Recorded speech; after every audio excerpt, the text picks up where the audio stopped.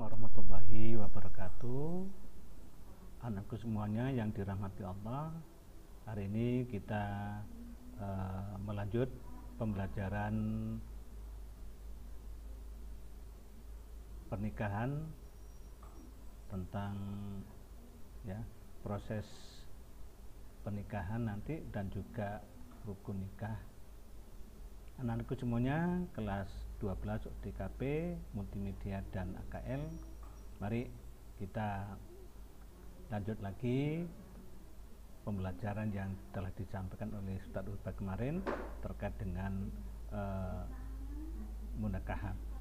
Yang disebut dengan munakahat atau nikah itu adalah memberikan kewenangan kepada seorang pria dengan seorang wanita yang bukan mahramnya untuk bergaul secara sah sehingga menimbulkan hak dan kewajiban. Nah, hal ini yang perlu diperhatikan dalam pernikahan itu memang harus dibutuhkan persiapan fisik dan jasmani. Nah, usia ideal menikah bagi wanita itu eh, antara 20 sampai 25 tahun dan pria berusia 25 sampai 30 tahun. Kemudian juga kematangan mental perlu dipersiapkan kepribadiannya dan juga pendidikan yang setara terutama terkait dengan pendidikan akhlak dan uh, perilaku yang lain. Nah, adapun nanti pada eh, faktor-faktor uh, penting dalam memilih pasangan itu agar kita tidak uh, salah memilih, pastikan ya pasangan kita itu adalah satu agama. Hindari pasangan yang buruk kepribadiannya, tetap menjaga kesucian diri dalam pergaulan karena pernikahan adalah ikatan suci maka dalam proses memilih pasangan itu harus tetap menempuh jalan kesucian. Memohon pertimbangan kepada Allah untuk e, petunjuknya agar bisa mendapatkan pilihan yang terbaik. Kemudian hukum nikah kemarin sudah dijelaskan adalah jais, wajib, sunnah, makruh, dan haram. Tujuan nikah ya ingat apa saja? Yaitu tercapainya ketenteran hati dalam ketenang dan ketenangan pikiran karena hidup yang diliputi cinta itu adalah penuh dengan mawaddah warahmah secara dan batin. Ya.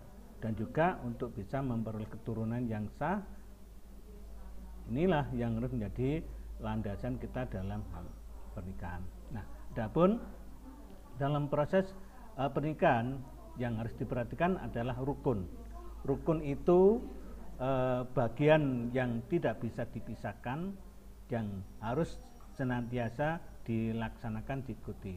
Adapun rukun nikah yang pertama adalah sigot atau ijab kabul, di mana akad atau sigot ijab kabul itu adalah perkataan dari pihak wali perempuan yaitu e, wali yang menikahkan orang tua kandung atau wali hakim dan diterima oleh pihak mempelai laki-laki yang disebut dengan kabul.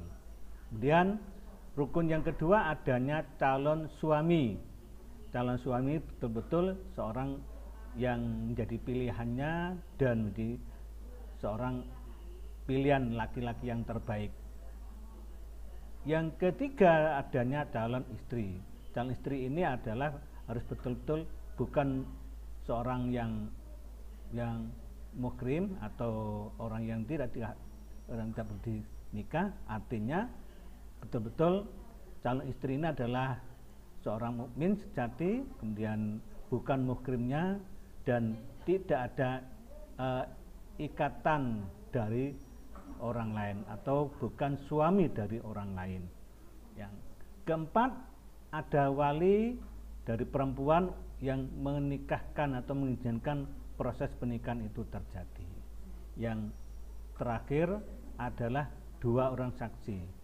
Dua orang saksi ini sebagai eh, persaksian telah terjadi proses nikah sehingga eh, pada suatu saat ada hal-hal bisa dibuktikan dengan adanya saksi.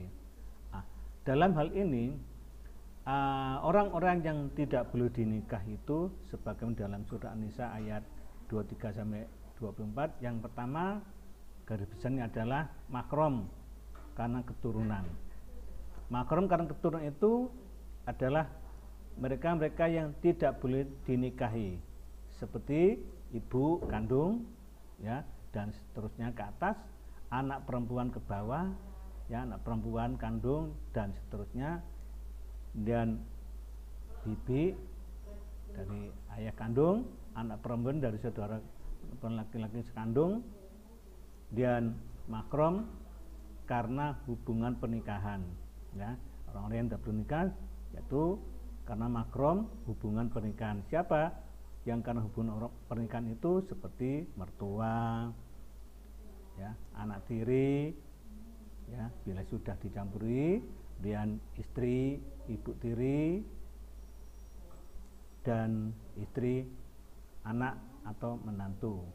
Dan orang yang tidak boleh dinikah berdasarkan karena persusuhan.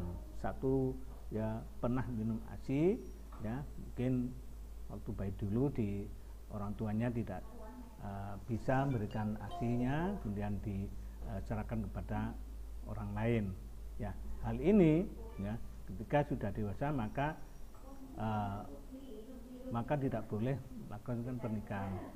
Siapa itu? Ibu yang menyusui. Yang kedua anak perempuan yang satu persetujuan. Yang ketiga makrom dan masuk ranah di kampung. Inilah yang tidak boleh dinikah. Begitu pula eh, makrom karena dengan maksud ya ingin dimandu dan sebagainya.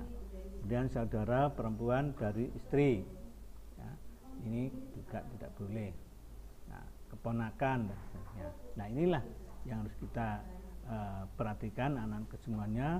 Proses pernikahan itu karena adalah sifatnya sakral dan menjadi suatu penentu hubungan yang baik antara laki-laki dan perempuan. Mudah-mudahan dalam hal ini tujuan nikah dan rukun nikah, hikmah dan seterusnya bisa kita ya pahami bersama dan dalam hal ini proses nikah yang baik itu ada adalah tujuan untuk bisa menjadikan mewujudkan rumah tangga yang sakinah mawaddah warahmah. Mudah-mudahan kita semuanya dilindungi Allah Subhanahu wa taala. Kira ini materi ini saya akhiri sampai di sini dulu. Kita lanjut nanti pada pertemuan yang akan datang.